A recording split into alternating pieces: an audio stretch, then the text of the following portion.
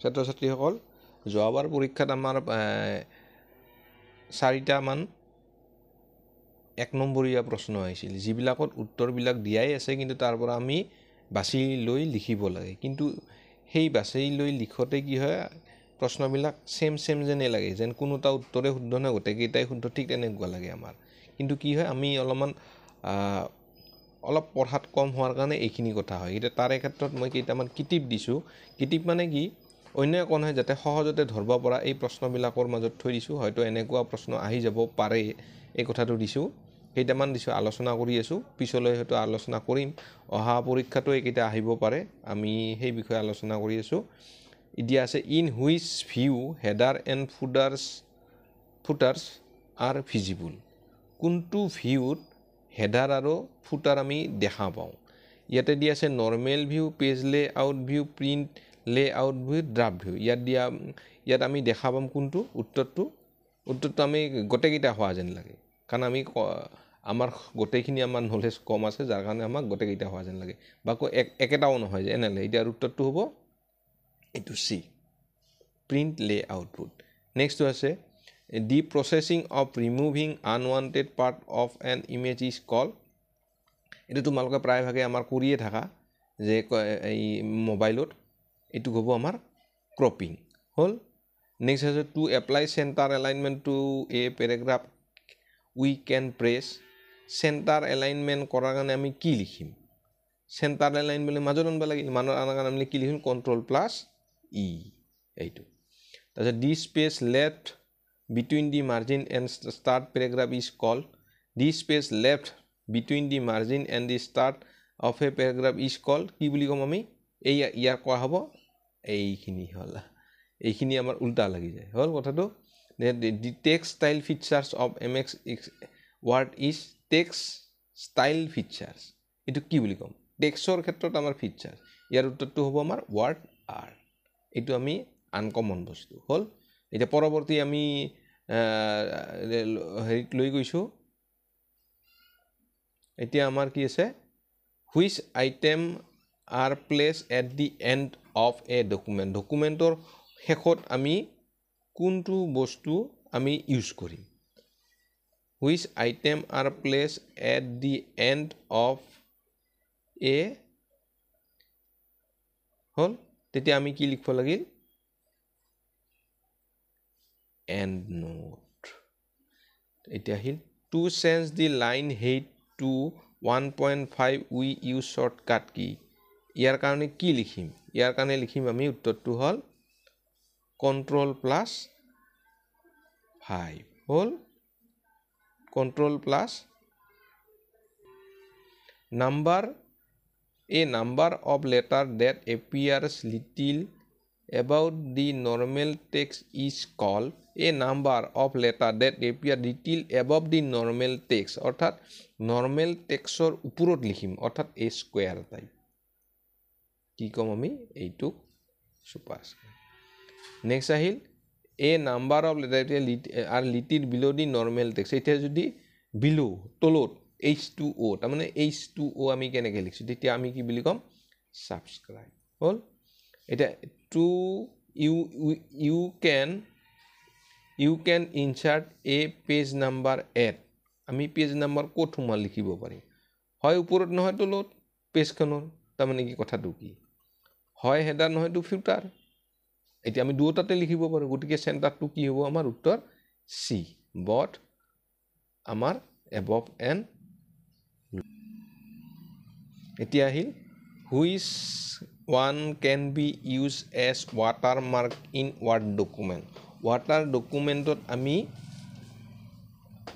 Water mark হিচাপে কি মানে ডকুমেণ্টৰ ৱাটাৰ মাৰ্কটো আমি কেনে তাৰমানে পেজৰ ভিতৰত যিটো আনপ্ৰিণ্টেড বুলি কোৱা কোৱা হয় যিটো মানে লেবেল দিয়া হয় কিছুমান দিয়া থকা নহয় এইখিনি কথা আমি কেনেকৈ লিখিম তেতিয়া আমি ক'ব ইয়াৰ কি হ'ব উত্তৰটো আমি আচলতে দুয়োটাই পাৰোঁ বট এ এন বি ইমেজো দিব পাৰোঁ আমি আখৰো দিব পাৰোঁ হ'ল হুইচ আইটেম এপিয়াৰ্ছ ডিমলি বিহা behind the body text এইখিনি কথা। এইখিনি কথা কি বুলি ক'ম আমি? Which item appears dimly behind the main body text অৰ্থাৎ কি বুলি ক'ম? এই কথাখিনিকে আমি কি বুলি ক'ম? ৱাটাৰমাৰ্ক নেক্সট আহিল। Which features feature start a new line whenever a word or sentence reach a border অৰ্থাৎ কি? মানে কি আমি লিখি লিখি পেজখনৰ শেষলৈ গ'ল তাৰপাছত আৰু কিয় ছেকেণ্ড লাইনত অট'মেটিক কাৰ্চৰটো হয় এই কথাখিনি ফিচাৰ এই ফিচাৰ্ছটো কি বুলি কোৱা হয়? এই ফিচাৰ্ছটোক আমি কি বুলি ক'ম? এই ফিচাৰ্ছটোক আমি কি বুলি ক'ম? টেক্স ৰেপিং বুলি কোৱা হয়। এতিয়া আহিল এইখিনি। The direction of a rectangular page for viewing and printing is call কি বুলি ক'ম আমি? Rectangular page for viewing and printing view and printing আমি কি বুলি ক'ম? ভিউ এণ্ড প্ৰিণ্টিঙক কি বুলি ক'ম? অৰিয়েণ্টেশ্যন চামো প্ৰিণ্টো কৰিম। অৰিয়েণ্টেশ্যন বুলি কোৱা হ'ব। এই অৰিয়েণ্টেশ্যন শব্দটো আমি জানো কিন্তু ইয়াৰ ক্ষেত্ৰত প্ৰশ্ন আহি যাব পাৰে। হ'ল? We can remove and hide border of a shape by selecting no' outline হ'ল এইখিনি কথা ক'লোঁ। We can change the thickness of a line from আমি থিকনেছ যিটো আমাৰ আখ মানে লাইনবিলাক আকোতে বেছি কম কৰোঁ তাক আমি কি বুলি কোৱা হ'ব? We can change the thickness of a line ক'ৰ পৰা আমি লাইনটো বহল কৰোঁ লাইন ষ্টাইল তাতে দিয়া থাকে আমাৰ বহুতখিনি লাইন দত দত আকাৰৰ লাইন দিয়া থাকে বহল এইটো কথাটো হ'ল লাইন ষ্টাইলৰ পৰা যাম হ'ল? What item contains details information about something in the text এই কথাটো কি? What item contains details information about something in the text তুমি লিখা কথাখিনি ক'ত থাকে? গোটেইখিনি বস্তু ইনফৰমেশ্যন আমাৰ পেজখনৰ ক'ত থাকে? ফুট অৰ্থাৎ তুমি লিখিব বিচৰা কথাখিনি মানে ক'ত লিখিবা? এই ফুট নোটত লিখিব লাগিব। হ'ল এতিয়া আহিল which item is printed at the bottom of each page বটমত আমাৰ পেজবিলাক কি থাকে? বটমত আমাৰ কি থাকে? টপ বটমত ফুটাৰ থাকে। এইটো। Colour and pattern use to fill a close shape is call colour and pattern use to fill a close shape এইটোক আমি কি বুলি কওঁ? হ'ল?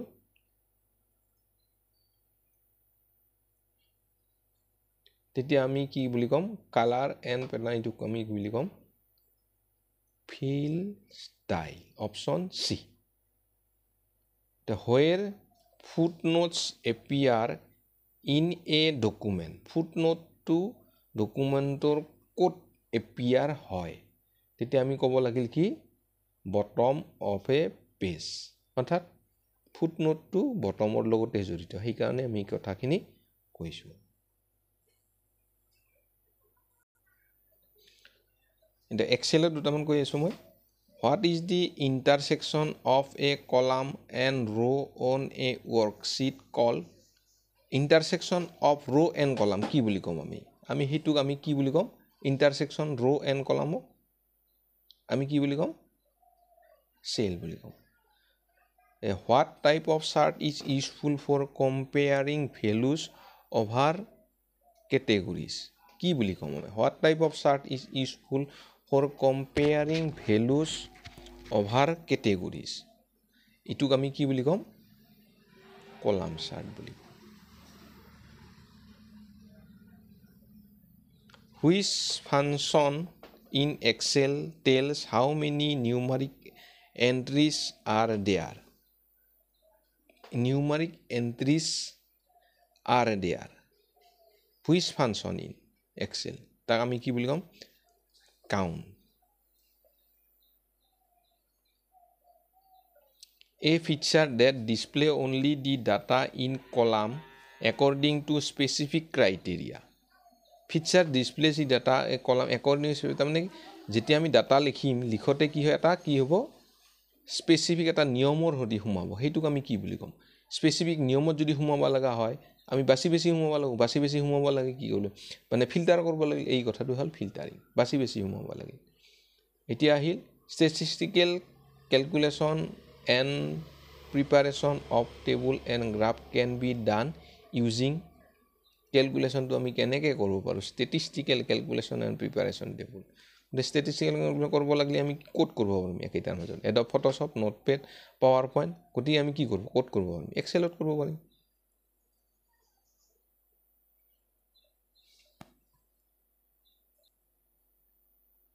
এতিয়া আহিল what type of chart you will use to compare performance of two employees in the year two zero' one six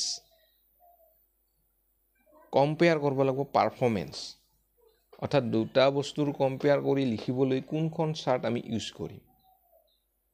গতিকে কম্পেয়াৰেশ্যন shirt হ'ব আমাৰ লাইন চাৰ্ট আমি বেছিভাগে নাজানো চাৰ্টবিলাক আঁকোহে কোন চাৰ্ট কি কাৰণত আঁকা হয় এই কথাটোক আমি কি বুলি ক'ম কম্পেয়াৰ কৰাৰ কাৰণে। হ'ল? নেক্সট আহিল which one is not a function in M S Excel কোনটো ইয়াৰে ফাংচন নহয়? এতিয়া চাবা আমি গোটেইকেইটাই ফাংচন জানো ইয়াৰে। মেক্সিমাম মিনিমাম চাম এ ভি জি আমাৰ এনেকুৱা লাগছে যে আমি এ ভি জে মানে কি? এভাৰেজ কিন্তু আচলতে কি? এভাৰেজটো লিখোঁতে আমি ফুল ফৰ্ম এভাৰেজ লিখোঁ। এইটোৱে হ'ল পাজুল লগাৰ কিটিপ। গতিকে বাকীবিলাকেও তোমালোকে জানি ল'ব লাগিব। নেক্সট আহিল function in M X Excel must begin with function লিখোঁতে আমি সদায় কি লিখিম? এটা ৰুলছ আমি ফাংচন লিখোঁতে সদায় আমি এটা ৰুল লিখোঁ। কি লিখোঁ? কি লিখোঁ আমি? সদায় এটা লিখোঁতে ফাংচন লিখাৰ সময়ত সদায় আমি কি ইউজ কৰোঁ? ইকুৱেল চাইনটো ইউজ কৰোঁ। এইটো আমাৰ নিয়ম। Which function in Excel check whether a condition is true or not. এটা কণ্ডিশ্যন সঁচা না মিছা আমি আগতে কৈছোঁ কণ্ডিশ্যন সঁচা মানে যদি ত্ৰিছৰ ওপৰত হয় পাছ কৰিব। ত্ৰিছৰ তলত হ'লে ফেইল কৰিব। কণ্ডিশ্যনটো সঁচা বা মিছা এই কথাটো চেক কৰাৰ কাৰণে আমি কি ইউজ কৰোঁ? সদায় আমি কণ্ডিশ্যন। কণ্ডিশ্যনেল ষ্টেটমেণ্ট হ'ল সদায় আমি জানোৱেই কণ্ডিশ্যন বুলি ক'লে কি লিখিম?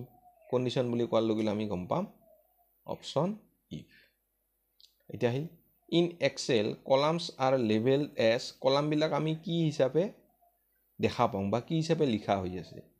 আমি কলামবিলাক লিখোঁতে আমি এইটো কথা অনুমান জানোৱেই যিয়ে নহওক এইটো কথাটো আমি কি বুলি ক'ম আমি? এ বি চি ডি কেৰেক্টাৰেদি লিখা থাকে।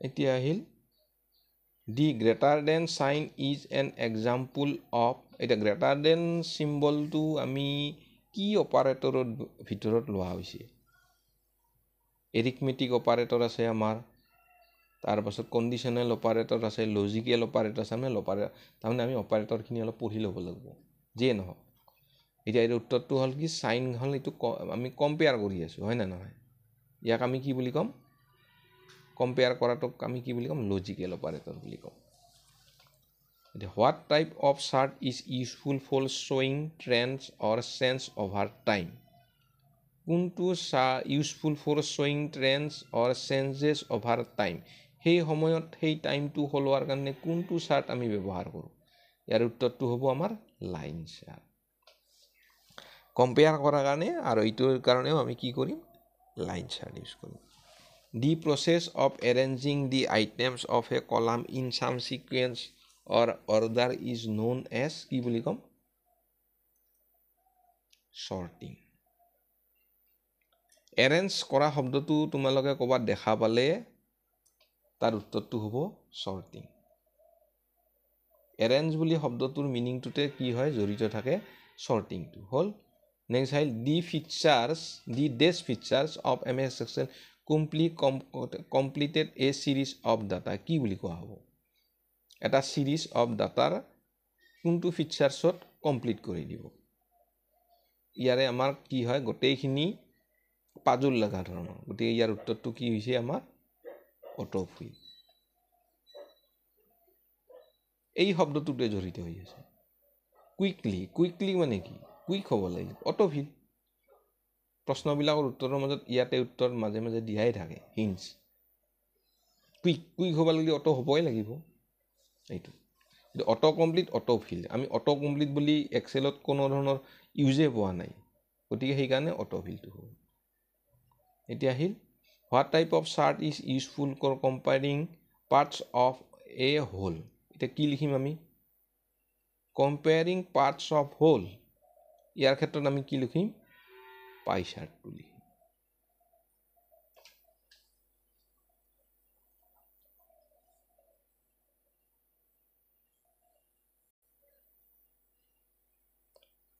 How do you use to create a chart? How do you use a use to create a chart কৰাৰ কাৰণে কি ব্যৱহাৰ কৰিম ক্ৰিয়েট চাৰ্ট কৰাতে আমি কি কৰিম আমি ইয়াৰে লিখিব লাগিল chart wizard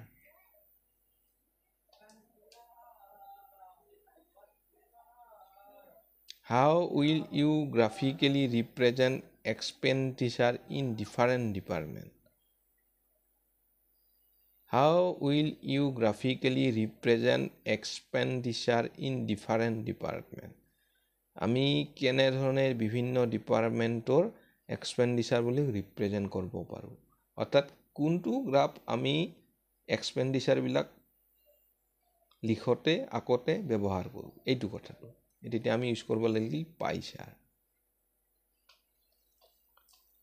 মানে expenditure related to pie chart not bar chart এইটো। The what type of chart is good for single series of data এটা ছিৰিজত তোমাক যদি মানে এটা ছবি আঁকিব দিয়া হয় কোনটো তোমাৰ ভাল হ'ব? তেতিয়া আমি ক'ব লাগিল কি ছিৰিজ এটাৰ কাৰণে আমাৰ হ'ল পাই চাৰ্ট এটা ছিৰিজ একেধৰণৰ বস্তু। এতিয়া আহি the basic unit of a worksheet into which you enter data in Excel is called a basic unit of a worksheet into which you enter data in excel is called আমি কি বুলি ক'ম? Cell আমি data enter কৰিবৰ কাৰণে আমি চেলত বাহিৰে লিখাৰ ক'তো ৰাস্তাই নাই। আমি চেলতে লিখিব লাগিব হয়? বুজি পালা কথাটো?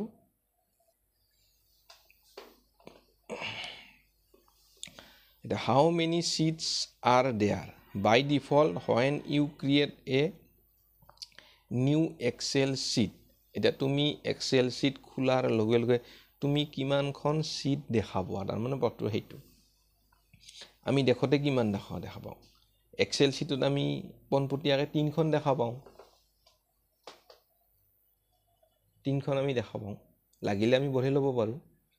In Excel which one denoted denoted a range from B1 through to E5.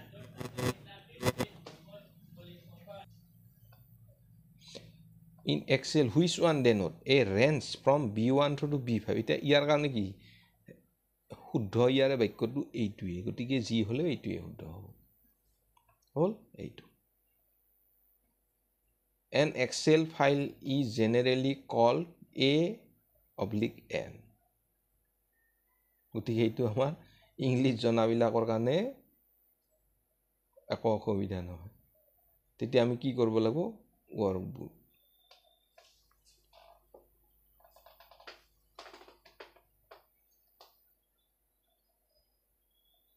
হ'ল?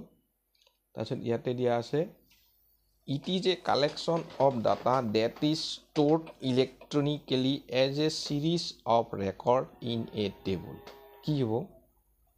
It is a collection of data that is stored electronically as a series of records in a table.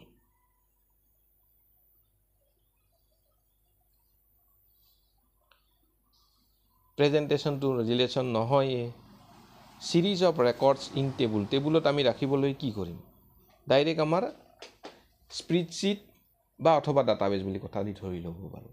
কিন্তু ইয়াতে কি আছে ইলেক্ট্ৰনিকেলি শব্দটো কাৰ লগত জড়িত? স্প্ৰীডশ্বীটৰ লগত জড়িত। গতিকে আমি কি বুলি ক'ম? ইয়াৰে উত্তৰটো হ'ব ডাটাবেছ ইলেক্ট্ৰনিক বুলি কোৱাৰ লগে আমি যদি ভুলতেও ভাবোঁ এইটো তেতিয়াহ'লে সেই ইলেক্ট্ৰনিক বুলি ক'লে আমাৰ এইখিনি কথা এনেকুৱা যে ইলেক্ট্ৰনিক বুলি কোৱালৈ তোমালোকে নাভাবা যে ডাইৰেক্ট আমি স্প্ৰিডশ্বিটে লিখি দিম। ইয়াৰ কাৰণে ভাবা লাগিব ডাটা ৰিলেটেড টু কাৰ লগত? Table data related to table টেবুলৰ লগত ডাটা ৰিলেটেড আমি তাৰমানে ডাইৰেক্ট বুজি পালোঁ? Database what type of chart will you use to compare performance of sales two product একেটাই প্ৰশ্ন আৰু হৈছে। তেতিয়া আমি কি লিখিম? কলাম চাৰ্ট একে ধৰণৰ প্ৰশ্ন। What type of chart will you use to compare performance of sales performance of sales of two products তেতিয়া আমি অলপ পাৰফৰ্মেঞ্চটো লিখাৰ কাৰণে আমি কি কৰোঁ কলাম চাৰ্ট আৰু যদি এক্সপেণ্ডিচাৰ ৰিলেটেড আমি কাম কৰোঁ তেতিয়া হ'ব লাইন চাৰ্ট হ'ল? এইটো। যে তোমালোকে তোমালোকক মই কেইটামান এনেকুৱাকৈ পৰীক্ষাত আহিব পৰা কেইটামান মই জনা জনালোঁ। এইকেইটা হ'ল এক্সেলৰ ওপৰত। একেইটাই আহিব তেনেকুৱা কথা নহয়। আৰু কেইটামান আমি আলোচনা কৰিম। সেইখিনি কথা মই কৈ আছোঁ আৰু দুটামান দি আছোঁ। ইয়াত দি আছে which of which of this software application are not part of the first version of Microsoft Office কোনটো জড়িত নহয়। First version of M S Office first version of M S অফিচটো আমিতো নাজানো। তথাপিও ফাৰ্ষ্ট ভাৰ্চনত কি হ'ল আউটলুক মাইক্ৰ'ছফ্ট আউটলুক বুলি ডেভেলপ হোৱা নাছিল। থ্ৰীত আমি এইটো পাইছিলোঁ টু থ্ৰী টু জিৰ' থ্ৰীত পাইছিলোঁ এইটো। হ'ল? To go' specific location in a document we use আমি কি ক'ব লাগে এটা নিৰ্দিষ্ট জেগাত গৈ পাব লাগিল ডকুমেণ্টৰ ক'ত ডাইৰেক্ট আমি ক'ত গৈ পাম? বুক মাৰ্ক আমি নিৰ্দিষ্ট জেগাত গৈ পাম। এতিয়া আমাৰ এইটো জেনেৰেল নলেজৰ পৰা আহে। Office three sixty five is now most popular cloud application E world but when did it doubt এই বস্তুটো হ'ল এইটো যে এইটো আমাৰ জেনেৰেল নলেজৰ পৰা আহি যাব পাৰে ইলেভেনত হ'ল এইটো ক্লাউডত ক্লাউড এপ্লিকেশ্যন আছে য'ত আমি এইখিনি দবাৰ মানে ফেচবুক এইবিলাক য'ত চলি আছে ক্লাউডত চলি আছে। Which of the which one is the most suitable reason to use macro' in M S office M S অফিচত আমি মেক্ৰ' কি কাৰণত আমি ব্যৱহাৰ কৰিব পাৰিম? ৰেকৰ্ড বুলি মেক্ৰ' বুলি কোৱাৰ লগে লগে আমাৰ হ'ল ছিৰিজ অফ কামান এটা নিৰ্দিষ্ট কাম ছিৰিজ অফ কামান আমি বাৰে বাৰে মানে কৰি থকা কামটো ৰেহাইকৈ কৰিব। তেতিয়া আমি কি কৰিম? ডাইৰেক্ট এইটো। Automatic repetitive task series of command বুলি ক'লে এইটো আমি ৰেহাই কৰিব পাৰোঁ। এই বস্তুখিনি এটা ছাবস্ক্ৰাইবছ ছুপাৰস্ক্ৰাইব আৰু ষ্ট্ৰাইক থ্ৰ' আৰু নন এছ কি বুলি জানো? আমি এই গোটেইখিনিকে আমি কি বুলি কোনটো ভাগত ল'ম? Font style font format font effect এইখিনি কথা। এতিয়া আমি ডাইৰেক্ট যাব লাগিব ফন এফেক্ট এই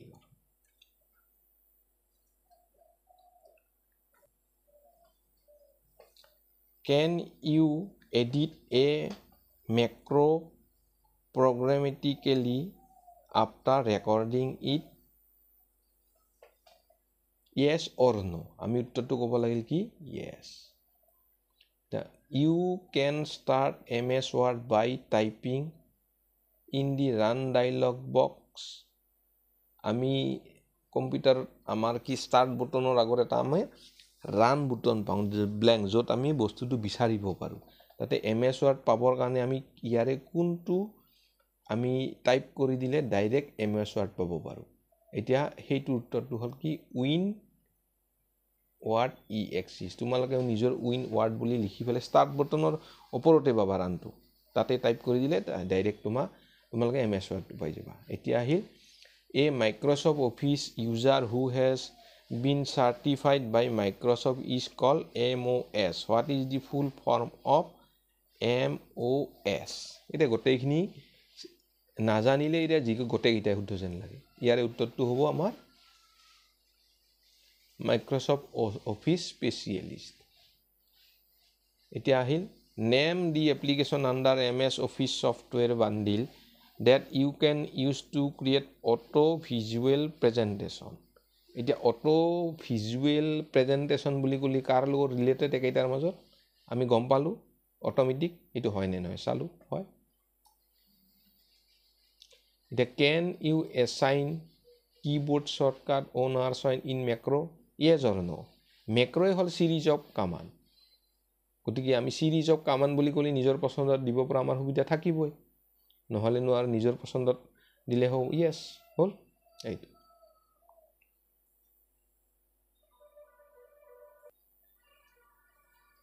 The which one is this spreadsheet application that comes with ms office software M ms office software গ্ৰুপত ক'ত আহিল কোনটো গ্ৰুপত স্প্ৰীডশ্বীটটো আহিছে, গতিকে আমি গম পালোঁ।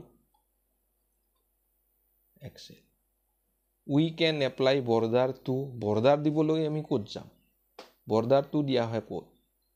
আমি বৰ্ডাৰটো দিব লাগিলে আমাক কিচিয়েল আমি টেবুলত দিব লাগিল।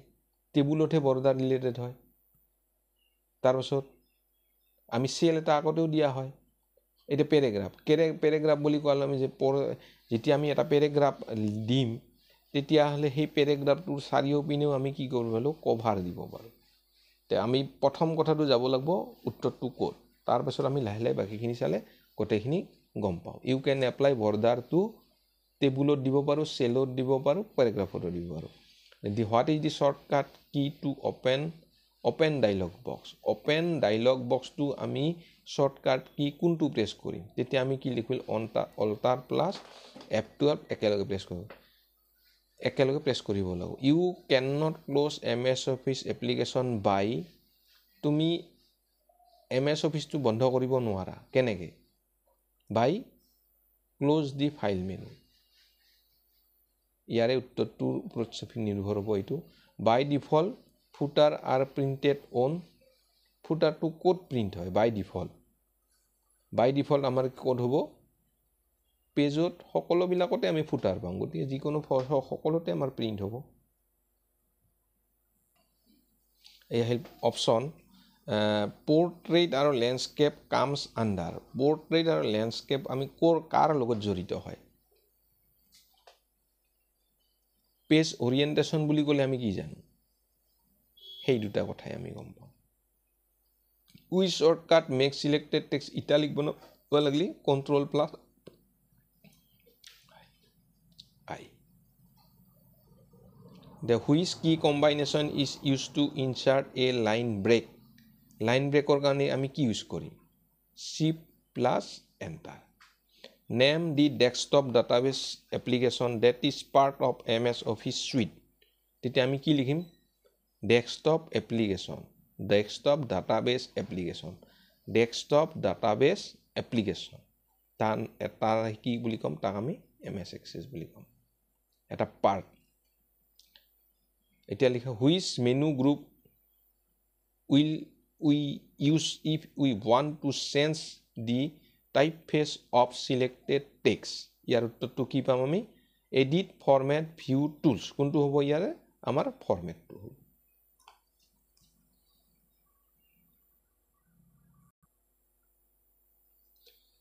we have copied an image from one document. Now which shortcut will you use to paste it in another document? অৰ্থাৎ কপি পেষ্ট কপি পেষ্ট কামানটো কি? কণ্ট্ৰল প্লাছ চি আৰু কণ্ট্ৰল প্লাছ ভি এইটো। কপি পেষ্ট কৰাৰ কাৰণে আমি control C দি copy কৰিম আৰু পেষ্ট কৰাৰ কাৰণে কণ্ট্ৰল প্লাছ ভি লিখিম। হ'ল? এতিয়া আহিল। What does the functional key F twelve do when you are using M S office এতিয়া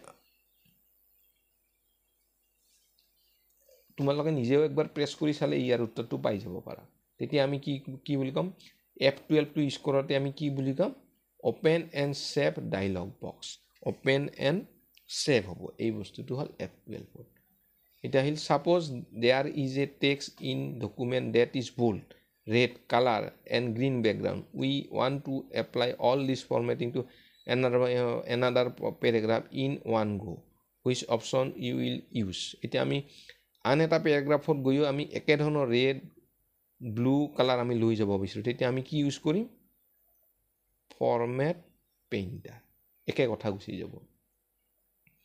Name the word processing application that comes in that comes with M S office M S অফিচৰ লগত কি আহে একেলগে? M S অফিচৰ লগত আমি কি বুলি ক'ম? আমাৰ একেইটাৰ ভিতৰত গোটেইখিনি কি আহিব? এম এছ ৱাৰ্ডটো গুচি আহিব। ৱাৰ্ড প্ৰচেচিঙত বুলি ক'লে আমি এম এছ ৱাৰ্ডটোৱে পাওঁ হ'ল? Gutter margin is use to আমি বেছিভাগে লেফ্ট মাৰ্জিন আৰু right margin top margin bottom margin gutter margin হ'ল এইখিনি। Add space to binding side আমি যেতিয়া আমি কিতাপখন বনাম সেই বনোৱাৰ সময়ত যিটো মানে য'ত আমি কিতাপখন ষ্টেপুল মাৰোঁ এইখিনি কথাটো কোৱা হ'ব গোটাৰ মাৰ্জিন। হ'ল? Which key combination is use to insert a page break in M S word page এখন ব্ৰেক কৰাৰ কাৰণে কোনটো ইউজ কৰিম কামান কণ্ট্ৰল প্লাছ এণ্টাৰ এইটো হ'ল পেজ ব্ৰেকৰ ক্ষেত্ৰত।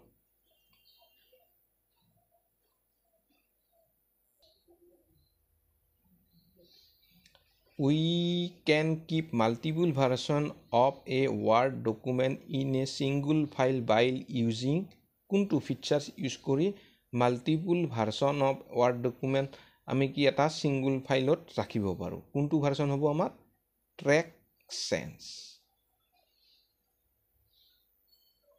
ইয়াত দিয়া আছে version change edition change track change trace change আমি কি কৰোঁ ট্ৰেক ট্ৰেছ ট্ৰেক চেঞ্জ কৰি আমি কমটো কৰোঁ which shortcut is use to select entire text ইয়াত দিয়া আছে control I control S control A control V entire text গোটেইবিলাক আমি টেক্স চিলেক্ট কৰিব লাগিব। Control plus all control plus A which is the shortcut key to search for any spelling mistake on a document আমাৰ যদি spelling ক'ৰবাত mistake আছে কোনটো shortcut কি ইউজ কৰিম?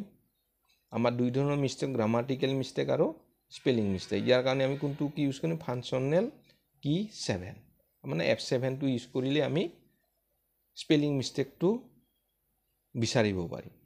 এতিয়া আহিল which one of the this is valid font style কোনটো আমাৰ এতিয়া valid font style subscript superscript regular strike through' কিন্তু আমাৰ গোটেইকেইটাই আমাৰ কি হৈছে চিনাকি চিনাকি যেন লাগিছে। হয় কথাটো ভেলিড ফনষ্টাইন বুলি ক'লে আমি কোনটো বুজি পাম? ৰেগুলাৰ। সেইবিলাক হ'ল আমাৰ এফেক্ট। এফেক্ট আৰু ভেলিড বুলি শব্দটো তোমালোকে অলপমান মন দি মন মন কৰি মনত ৰাখিব লাগিব। এফেক্ট বুলি ক'লে আমি কি বুজি পাম? আৰু যদি ভেলিড ফনষ্টাইন বুলি ক'লে কি বুজি পাম?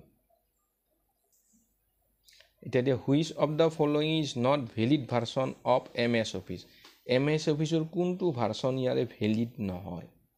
ইয়াৰে ভেলিড নহয় মানে আমি জানিব লাগিল এম এছ অফিচৰ ভাৰ্চন কি কিনি আছে। তেতিয়াহে আমি ভেলিড ইনভেলিড বাছি ল'ব পাৰিম। গতিকে আমাৰ ইয়াৰ ভেলিড ইনভেলিড ভাৰ্ম হ'ব এইটো হ'ল Office Vista Office Vista Vista শব্দ আছে কিন্তু অফিচ ভিষ্টাটো নাই।